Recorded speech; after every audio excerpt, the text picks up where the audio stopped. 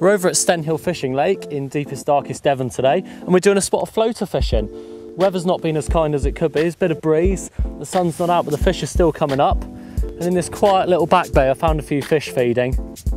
And we're into a nice one. Just uh, ploughing away to my right here, trying to get around this island. And of course, with floater fishing, you tend to be fishing fairly light. And we will talk about tactics and things later on within this little video. Um, so we're just going to have to be a little bit careful. Nice forgiving rod. We should be able to we should be able to turn it. And there's the uh, little bolt bubble controller up on the top there. Fish swirling around, powering away. It's very shallow water in this little bay, so the fish can only really go sideways. Oh, lovely common. Looks like a good fish.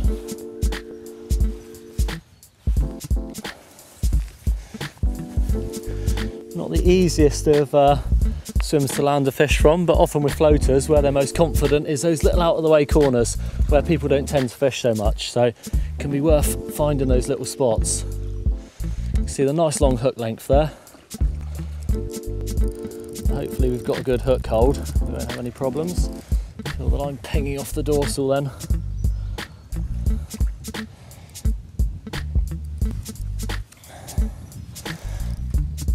Taking those first couple breaths of air there.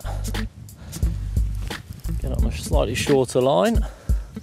And somehow, hopefully, through this somewhat heavy cover, can slip her into the net. Excellent. What a great start. Well, we're off the mark on our floater session at Stenhill Fishing Lake in Devon. Got this cracking upper double common. I'm going to get this one back and talk you through the tactics that I've used to land this cracking fish. We've just put back that cracking upper double common, and now I'm going to go through the rigs that I use for my day-to-day -day floater fishing. Now, starting with the main line, it's absolutely vital that you've got a main line that stays up on the surface as a sinking nylon line would pull the rig back towards you.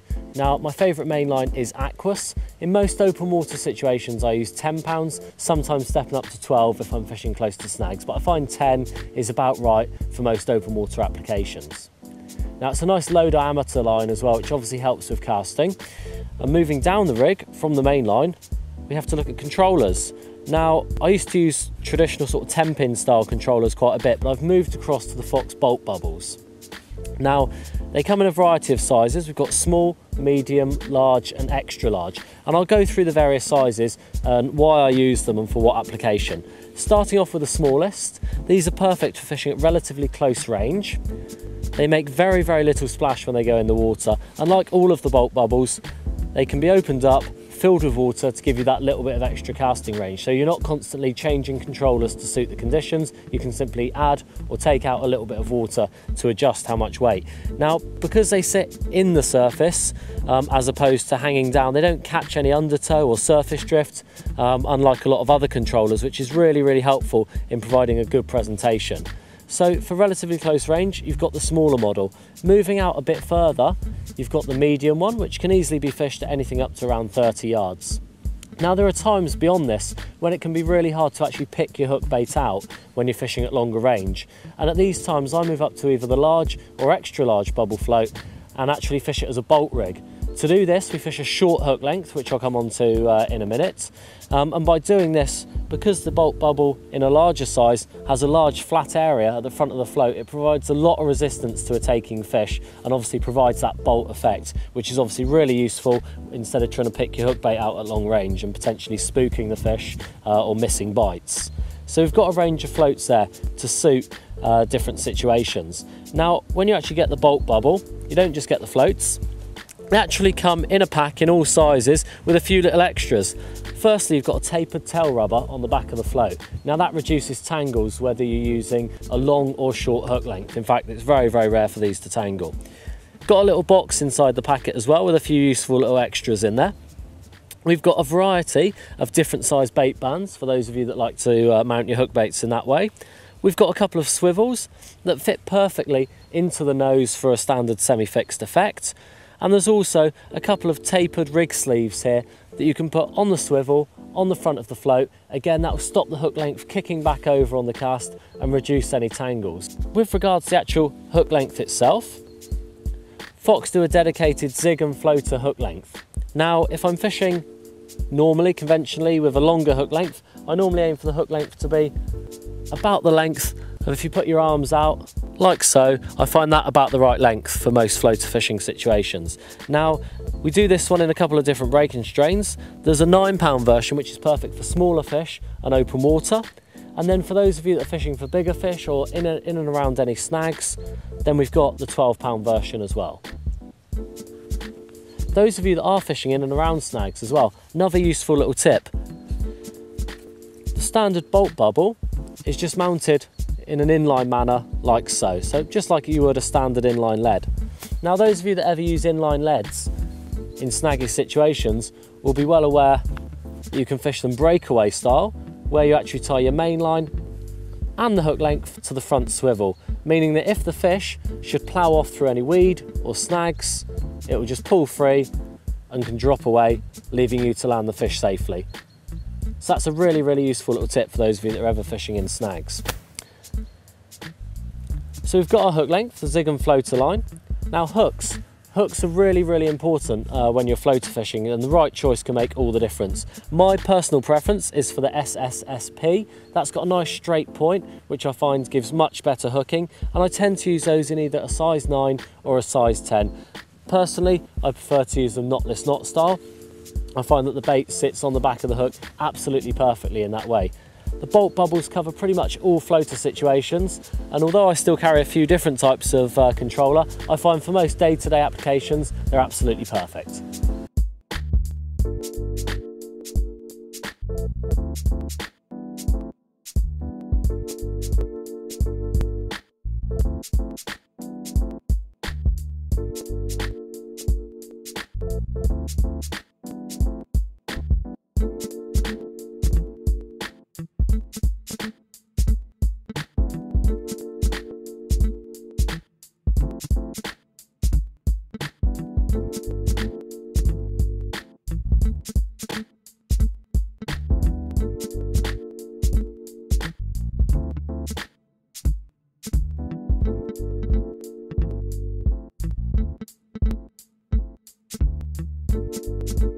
There's a multitude of baits available for surface fishing for carp, but for most of my floater fishing, I choose to use these floating trout pellets, and they're the perfect loose feed. In their own right, they're quite oily, but as a little extra edge, I use this Richworth blended salmon oil and pour a little bit of that over them before I fire them out with a catapult or feed them by hand.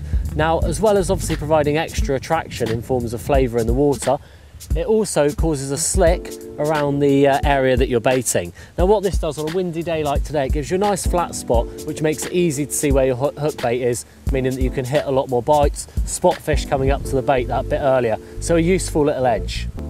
With regards hook bait, very often you get little fish pecking away at a pellet hook bait and they can often peck it away to nothing um, and obviously that can cost you uh, an opportunity. So what I tend to use is a cork ball which just sits on the back of the hook, knotless knotted, nice short hair against the back of the hook.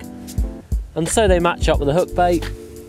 Just use a little empty tub like this, put some salmon oil in the bottom, and then just leave my hook baits in there all the time. So they just soak up that flavour, and you've got a real high attract hook bait in the middle of your freebies. Really simple but highly effective floater baits.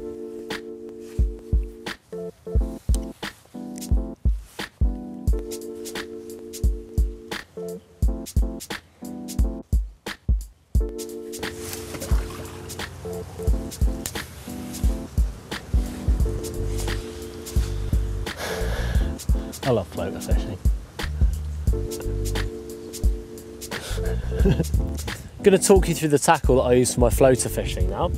We've got a 12 foot stalker two and a quarter rod. The reason I choose this model, two and a quarter, gives me plenty of power for stopping those bigger fish that uh, should we be lucky enough to hook one off the surface, but it's soft enough that we can get away with playing fish with relatively light hook lengths. So this is absolutely perfect rod for this type of fishing. We've got a Stratos 7000 reel. Takes more than enough line for floater fishing.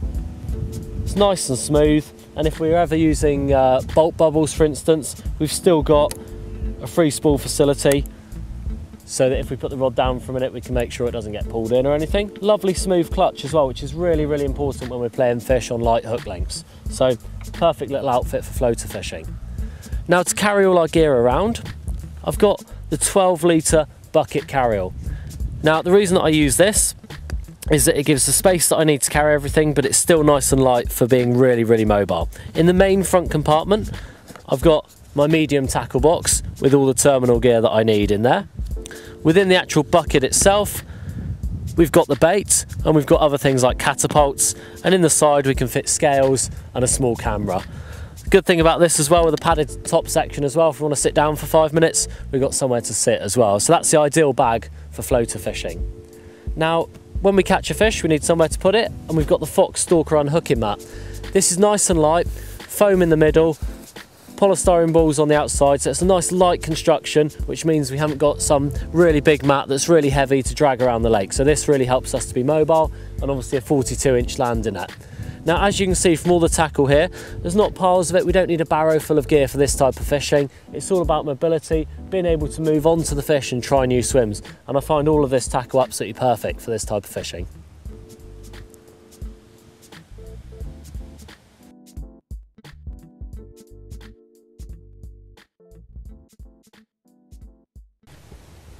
Well, it's been quite a frustrating afternoon. We had that fish early on.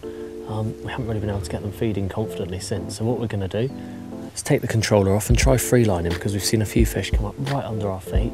And uh, this very traditional tactic can sometimes pay off in this circumstance.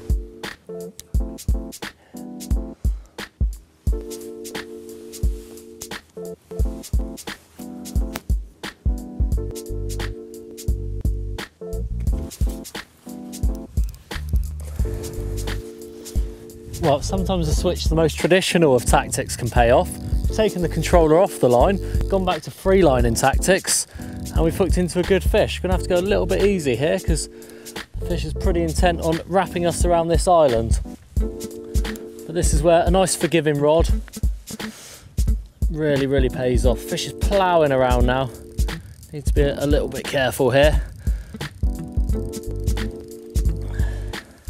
Gonna have to follow the fish because it's uh, unfortunately going through a gap into the other part of the lake here. Hopefully it's going to have a change of heart.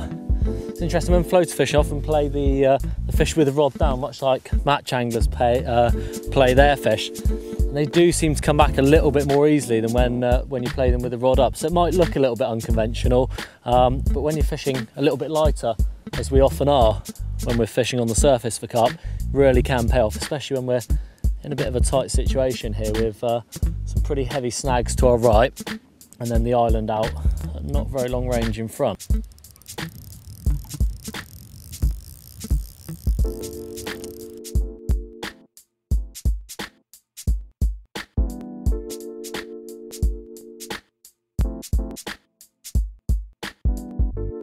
Well, the sun's finally graced us with its presence. And as we come to the end of the day, we've hooked a second fish. Coming in towards the net now. Another lovely looking common. Just guide it in. Simple free line tactics. Nothing but the line and the hook. And it's paid off.